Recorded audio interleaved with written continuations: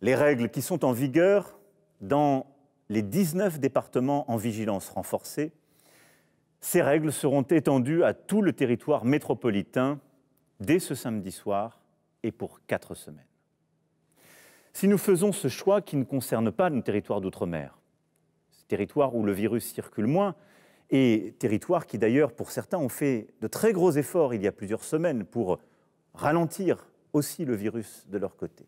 Si nous faisons ce choix de toucher tout le territoire métropolitain, c'est parce que plus aucune région métropolitaine n'est aujourd'hui épargnée. Partout, le virus circule vite, de plus en plus vite, et partout, les hospitalisations augmentent. Et donc, chacun doit veiller, non pas à s'enfermer, mais à limiter au maximum les contacts, les rencontres, les moments de proximité avec d'autres personnes.